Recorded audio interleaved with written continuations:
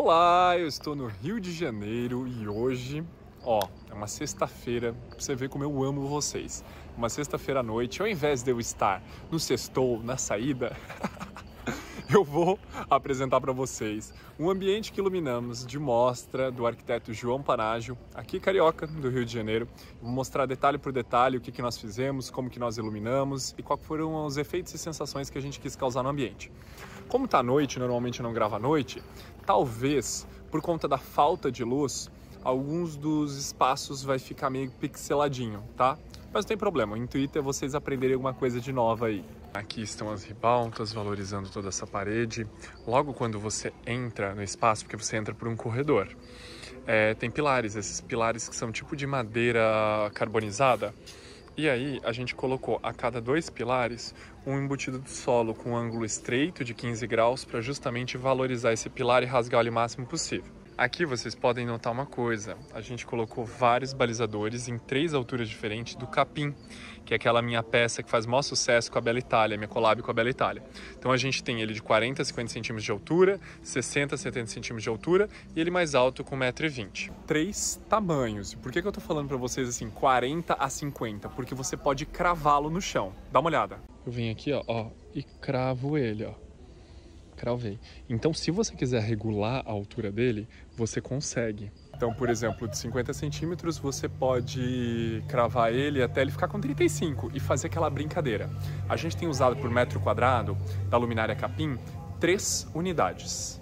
Aí fica perfeito, não fica nem de mais e nem de menos. E é lindo porque ela parece um vagalume, tá vendo, ó? Ai, ela é linda, ela é linda, sério, olha isso.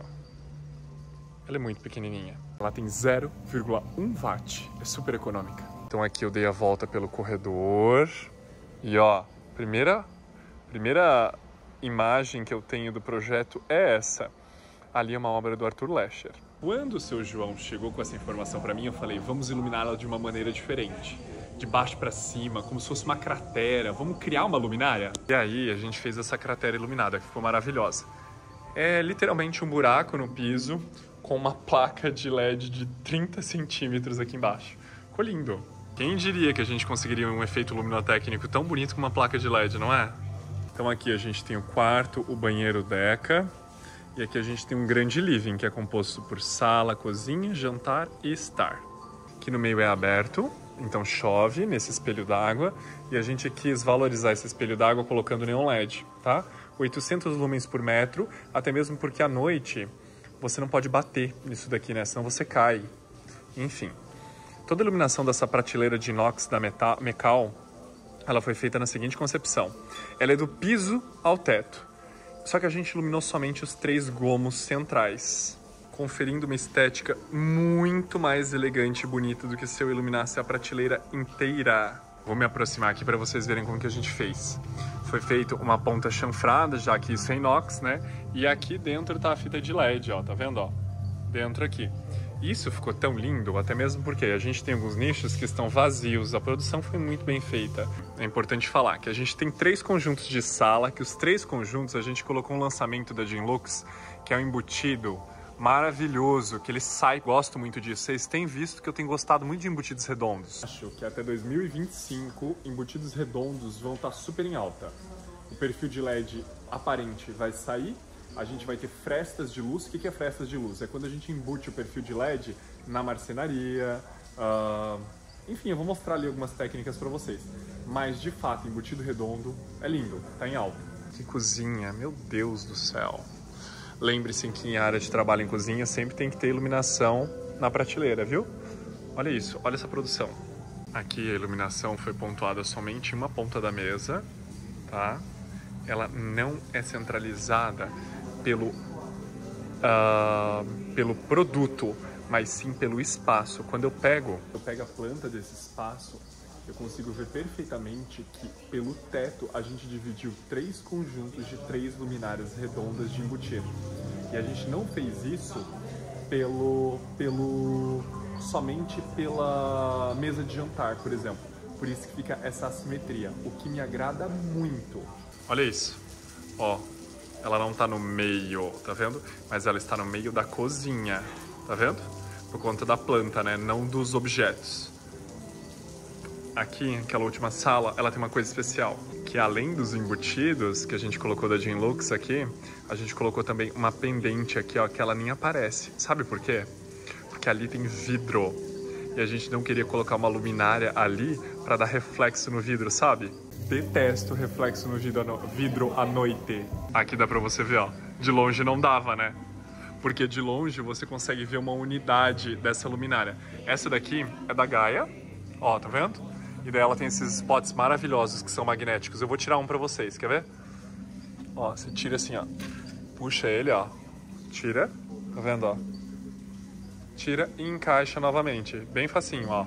Olha lá, porque ele é magnético. A vantagem do trilho magnético é justamente essa, é você conseguir colocar spots depois de que está tudo instalado. É, quando você compra um trilho que ele não é magnético, tem essa desvantagem, você já tem que prever antes. Se faltar um spot ou outro, você não consegue.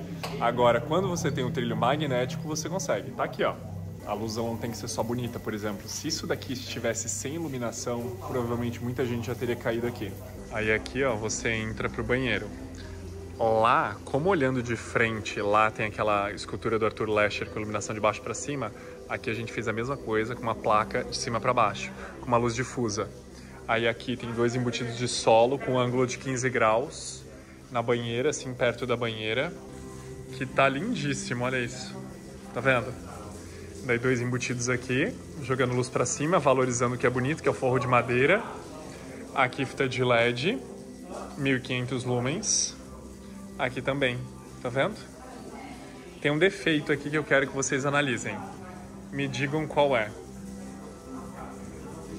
Conseguiram perceber? Coisas no projeto que podem ser melhoradas, tá? Essa que eu vou ensinar para vocês é uma delas.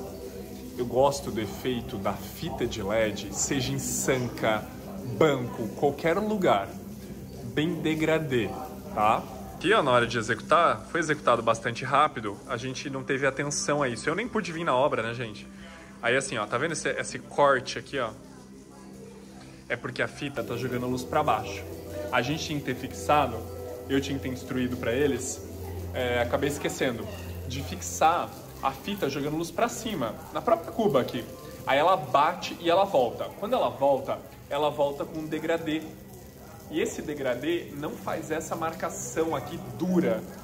Mas tá lindo igual, ó. Esses são detalhes que só eu mesmo que olho. E aqui, como é a cuba, tá vendo a cuba da Deca, ambiente da Deca, a gente colocou esses dois spots, tá vendo, ó? Pra dar um brilho. Ali tem um vaso sanitário, um balizadorzinho do jeito que eu sempre gosto, a 30 centímetros de altura. Olha que lindo. Esse barulho que vocês estão ouvindo é porque aqui os chuveiros ficam ligados o tempo todo, ó. Mas vamos lá conhecer o quarto? Ó, ai, o quarto é assim, é um espetáculo. Ai, meu Deus. Olha isso. Aqui em cada uma dessas portas, deixa eu mostrar pra vocês. Cada uma dessas portas que são pivotantes de madeira aqui, a gente colocou embutido de AS70 12 graus, por isso que o ângulo é tão marcadinho no piso. E percebam que novamente estamos utilizando embutido redondo, preto, fica maravilhoso. Esse daqui inclusive é o embutido Nia da Revolux, super baratinho, enfim. E quando a gente entra no quarto, foi criado tipo um brise de madeira maravilhoso com vidro. E aqui a gente colocou fita de LED, tá vendo? A gente criou uma cantoneirinha pequenininha e colocou fita de LED para valorizar aquilo que é belo, que é o teto perfeito, lindo. Pensa num quarto que você pôr vontade de dormir nesse quarto, sabe? Que delícia. O João desenhou esse cabideiro aqui que fica do lado da cama e a gente iluminou ele jogando a luz para a parede para que tivesse esse efeito de luz e sombra. Não é que ficou divino? Inclusive a produção tá maravilhosa. Agora tem um detalhe que eu não sei se vocês notaram. O que, que tem aqui de diferente? A gente sai de lá do teto para não ter estraga, para nada estragar esse teto maravilhoso, a gente sai com cabinho de aço. E sim, a gente pendura, ó, um pendente igual aquele que eu mostrei para vocês, magnético, ó, tá vendo, ó? Quer ver? Ó.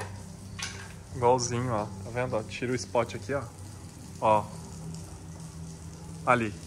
A gente tem dois spots desses que são maravilhosos. Vou mostrar ele mais na luz aqui para vocês, ó, tá vendo, ó? Ó.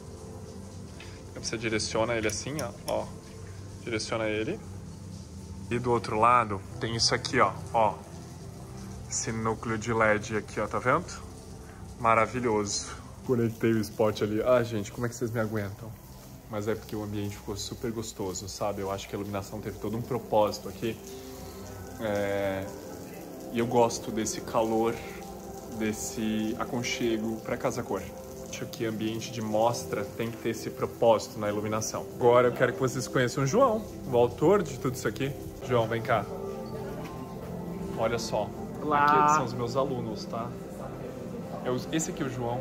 Eu queria apresentar para vocês porque, cara, o autor de todo esse bom gosto aqui, ó. E eu tenho umas perguntas para te fazer, tá? Vai Tá. ser tipo entrevista de frente com a Gabi. Eu vou ficar tirando óculos, tá? Seguinte, quem que fez a produção do ambiente que eu achei impecável?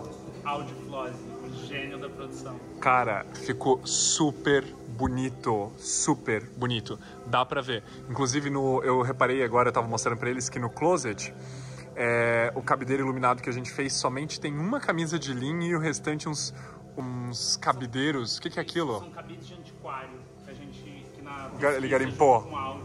Conta pra mim. Da onde é a inspiração desse projeto aqui?